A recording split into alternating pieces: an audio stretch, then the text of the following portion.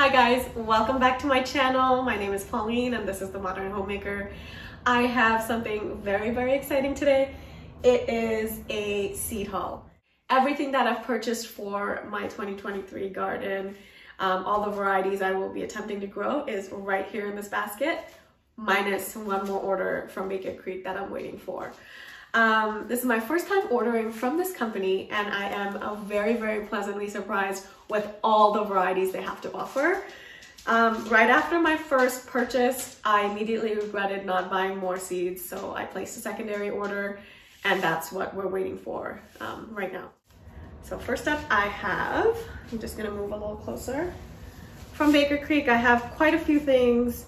So this pink celery caught my eye. It is um, a Chinese pink variety. Um, it's a bubblegum pink from China and it, um, it's said to be extra easy to grow, perfect for a kid's garden and very eye-catching for farmer's market. Um, and I'm not gonna lie, it is absolutely beautiful. I can't wait to add it to my garden. This purple lady bok choy also caught my eye because it's purple. I love bok choy. I eat bok choy at least once a week and I can't wait to grow those. Kale is another thing that is a constant in my garden. I There hasn't been a year that I haven't grown kale. This thousand head kale is massive. It's a mammoth sized culinary variety uh, with curly edges and it says it's sourced from King's Seed of England. Um, and um, it is a very old heirloom variety so I'm excited to try that. Now moving on to tomatoes. These are mainly um, Instagram varieties. I see them everywhere and I say Instagram variety um, very loosely. It's because I see them everywhere and I'm jealous and I needed them in my garden because they're just absolutely stunning. So Brad's Atomic Grape is one uh, Barry's Crazy Cherry. This variety I have heard the absolute best reviews on. Everybody that grows this variety says I have to grow it and now I will. Okay, I can't say this name. Sart Lo, Lo, Rolois. um, don't come at me for the pronunciation. So this is absolutely stunning. It is um, a golden yellow at the bottom and then a beautiful purple on top. It almost reminds me of stained glass. Yeah, colored up stained glass and it's just absolutely beautiful. So now these two I've already grown before. Uh, Black Beauty, oh sorry, Orange Accordion and Black Beauty. I have purchased these seeds um, via Facebook Marketplace. One of the growers was selling them. So I got a chance to grow them last year in my garden and I loved them and I wanted my own seeds. So that's a repurchase. Now moving on to two um, flowers. I got this Calendula Pink Surprise. It is so beautiful. It is just a very easy, very beautiful um, plant to grow. And yarrow. I was so, so, so, so excited to see yarrow seeds um, in Baker Creek. I don't see yarrow seeds in many um, seed companies, so I was quite excited. I love growing yarrow. It, yarrow, if you don't know, is a perennial um, plant and it attracts so many bees and beneficial insects and it's so good for your garden. So, yeah, excited. Now, I did not know this. You get free seed packets um, on certain amount of orders. So like if you spend a certain amount, they give you free orders, uh, free seeds with your order. And um, I guess I qualified for two. This one is called um, pepper. It is a hot variety, so I'm excited. I love hot peppers. And Merlot um, lettuce. It is a very, very dark red lettuce. And it's probably one of the darkest varieties I've seen. Oh yeah, um, reputed to be the darkest red variety in existence. Frilly leaf margins, crisp and wavy leaves. So, and they're best as baby greens or cut and come again harvest, which is exactly what I'm going to be doing with these. So that is Baker Creek, guys. Let's move on to West Coast Seeds. They are a Canadian company. Um, and as you can tell, I love this seed company. They are tried and true. Um, they have not disappointed me so far. I've been using them for the past four years. I am not affiliated with them by any means. Um, they're just a great seed company and I like purchasing from them. So the first two are new carrot varieties. I have a deep purple and a Yellowstone, which is a pale yellow variety. Now, I purchased them mainly for their color, um, and I just think they would be stunning in a um, as a side dish for your dinner parties and things like that. The next, I have two varieties that um, I grew last year and they did so, so well, so I had to repurchase. Um, it's the Bolero and Neptune. Neptune variety is such a good long storage variety. And this, uh, the Bolero is just a very sweet, tender uh, garden variety. So I had to repurchase them. Next, we have onions. These two are um, a repurchase. So it's a red wing and white wing storage variety. This is your typical store-bought, large, pungent um, onion variety. So if you're looking for um, a long storage cooking onion, these two are it. And then next I have another storage variety. It's the Borettana. Um, it is a heirloom Italian variety. Moving on, we have sweet onions. I have a Kelsey and Walla Walla. I've grown both Kelsey and Walla Walla before. The Kelsey did not get as large as I would have hoped, but it was mainly my fault. Um, I didn't give it nearly enough space. So this year I'm dedicating um, a whole area where I just grow these two very large sweet varieties. And last up for the onions is the red beard scallions. I love the striking bottom, the striking um, stalk of these. They're just so fun and I can't wait to see it in my garden. The next two are perennials. I have rhubarb and lovage. Lovage, if you don't know, it is um, very similar to a celery. So you can, um, it's got a very mild celery flavor. It is a perennial, um, so it will keep coming back every year, just like a rhubarb plant. And you can use it for your stocks and your soups and stews. So I'm quite excited about that. I love um, vegetables and flowers that are perennials. It's just one less thing for me to worry about. Same with rhubarb. I love my rhubarb and I was quite excited to see that they had rhubarb seeds. Um, I like making rhubarb barbecue sauce and um, rhubarb jams and jellies. So this is going to be well used. Next, I have two, um, I have collards. I grew this last year. Can't go wrong with growing collards. I love them in my stir fries. Um, cooking it up with a little bit of bacon. Oh, so good. So just another repurchase here. Now, squash. I would like to grow more squash this year. That is my goal. So I purchased a whole bunch of um, new varieties. So I have first mashed potatoes. so cute. They're um, like little compact uh, vines. They're very white in color and um, they're just just a very nice variety. I thought I'd give it a try. Next, I have Sweet Mama.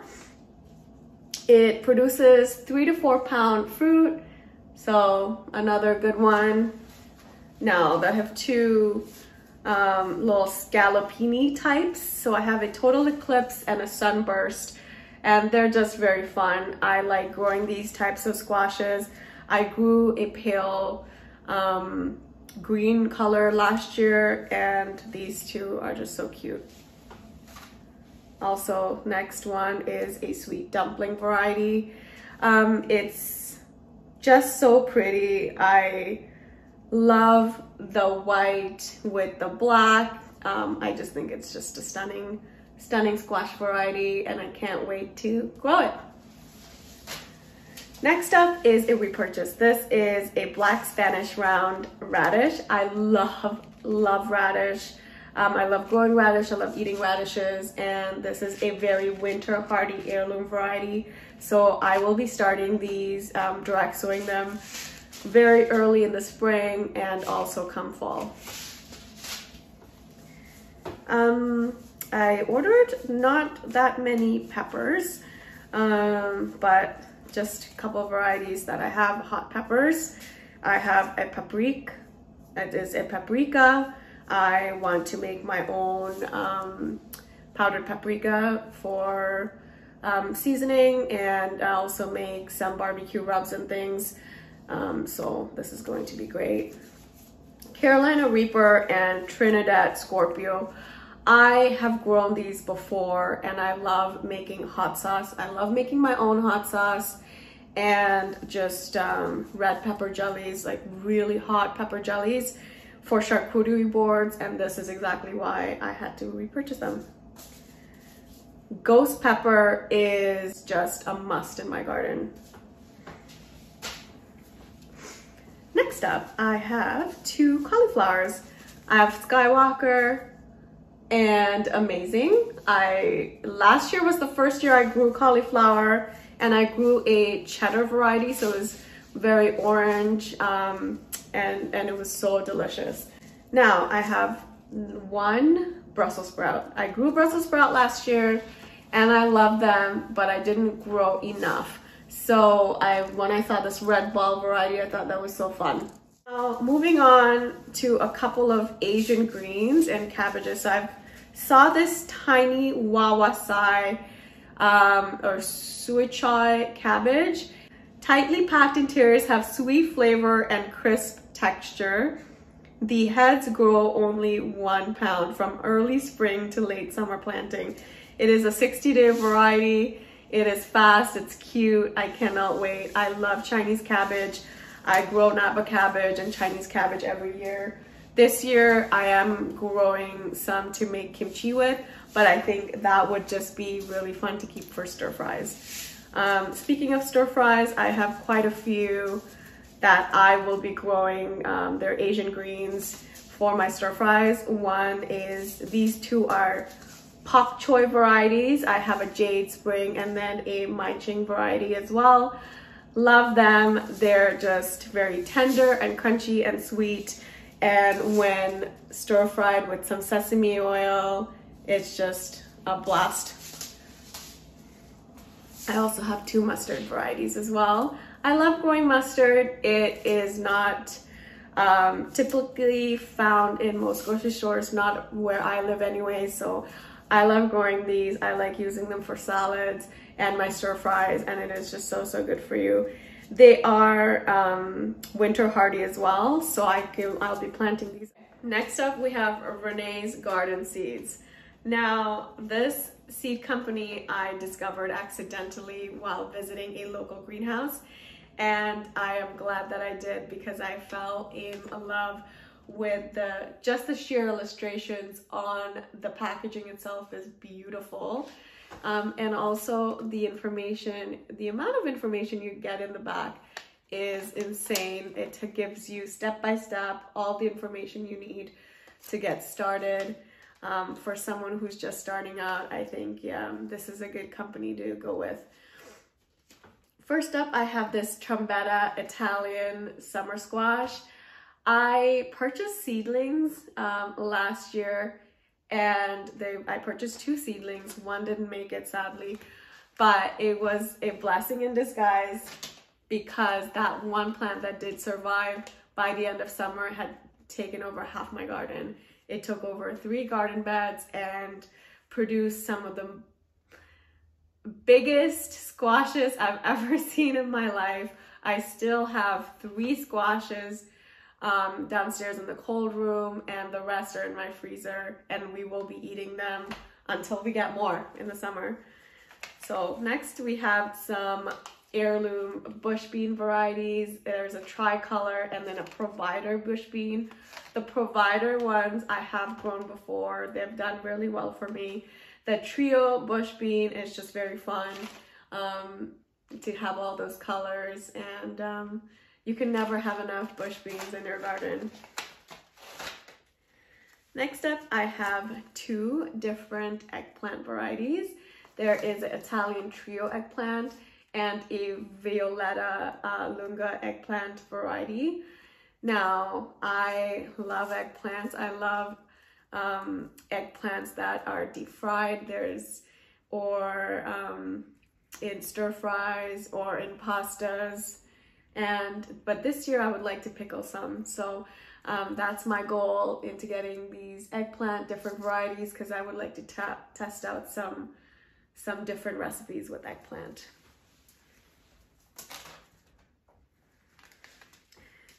I have a Easter egg radish. I love growing radishes, and when I saw this uh, rainbow radish variety, I just had to get it. And as well as this purple top turnip.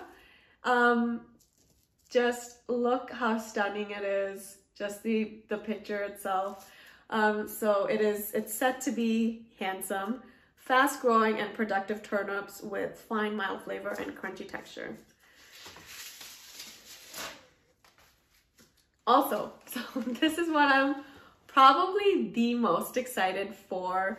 This heirloom icebox watermelon um, doll babies variety. It is an heirloom watermelon and just so cute. It's a mix of small sweet melons with crisp pinky red or yellow flesh. So you won't know what you have until you open up the watermelons and see what you what color you have inside, which I think is just very fun. I have two broccolis. Broccolis did very well for me last year. It was quite a surprise. Broccolis have never done well in my garden. It has always bolted, but the um, variety I used last year was the all season blend. So that's a repurchase. Uh, but I also wanted to do this Bravado um, F1 main crop variety and just see how that does for me this year. Um, it does say that it yields really large heads. So uh, with multiple offshoots, so I'm excited about that. Um, now I have a couple of flowers.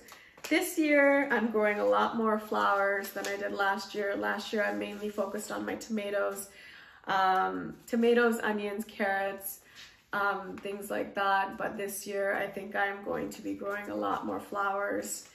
So um, this double butterfly Cosmo, I love Cosmos. This rose bonbon double um, double butterfly Cosmo just caught my eye. It's extra fancy, frilled, double blossoms in a rich romantic rose, non-stop bloomer. So yeah, the butterflies are going to go crazy. I have a French perfume lavender. It is a container variety. I am going to be starting these inside um, and then I will transplant them in little garden containers all around my garden. Um, it is supposed to, it is a, uh, um, a perennial, so um, I'm going to have to bring those containers in and overwinter it and Next up, I have two nasturtium varieties. Um, there's a whirly bird mix, which um, comes in very um, different colors and shades. So there's cherry rose, creamy yellow, soft peach, tangerine, mahogany, scarlet, and rich gold. Um, so that is the whirly mix. And then I have a moonlight climbing variety and it just comes in this stunning primrose color. It looks like it might have some stripes of yellow, so I'm excited for that. Now, next up, I have some cabbages. So I have two cabbage. I have a Napa cabbage, which is a purple variety. I've never grown a purple Napa cabbage before, so I'm quite excited for that. And this Pixie baby cabbage variety. It is so tiny, so small. It is space saving and early maturing compact head. I wanna see how long this will take. Oh, this is a 60 day variety. So it's a 60 day variety, um, it is small. So if you have a container or just not enough space, um, these tiny, these pixie varieties will, will be a great addition to your garden. Um, so this, these two are a repurchase, or all these actually are repurchases. So I have a long-lasting spinach, which I grew last spring and it was delicious. Wish I had done a fall planting of it. Honestly, by the end of fall, I had so much going on that I did not get to do a um, fall planting, but this year I will. Mars Landing Kale. This kale is, it was something special. It looks so stunning in your garden. It was definitely one of the most prettiest kale varieties I've grown thus far. And um, I think this is going to be a regular in my garden for a while. So this Italian kale and bright light, um, bright lights chard. Um, also is a repurchase. I love kale. I love um, putting in my smoothies. I make green powder with it. Um, this kale variety had done so, so well for me that I had to buy it again. It almost became a tree. Um, I tried to overwinter it. I did cover it up with some mulch to see if it'll come back. But in case it doesn't, I have seeds and I will be starting them. Bright Lights Swiss Chard. Swiss Chard last year was just phenomenal for me. It grew so well and I had the biggest Swiss chard that I've ever had and it was um, this packet that I used so I had to repurchase it. Now last but not least I did purchase uh, from another local seed company. It is called Stokes. There's just two seeds um, and um, mainly because this hybrid plum tomato variety, my girlfriend grew these last year and she did not stop raving about them. It is a San Marzano variety and it did really, really well for her. So I just had to give it a try myself. Um, and as well as this uh, hybrid carrot variety called Envy. It is a jumbo variety um, growing as large as 12 inches. So I am excited to grow these and add it to my carrot collection. And um, yeah, Last but not least, again, I have this sunflower variety I just got. I've been searching for this teddy bear variety for a while and I couldn't get my hands on it. So I'm excited when I saw that Burpee had these this year. I didn't see them last year. Um, so I had to get two packages and I'm just going to scatter it all around the property and have the most beautiful fluffy um, heads of sunflower. So that concludes our seed haul for 2023. I wanted to quickly show you how I store my seeds as well. Um, I store them in photo cases that I purchased from Michaels. From what I remember, they were quite cost effective. Um, they were about $25 per case. Amazon has them as well, but um, I found Michael's to be a little bit more um, cost effective.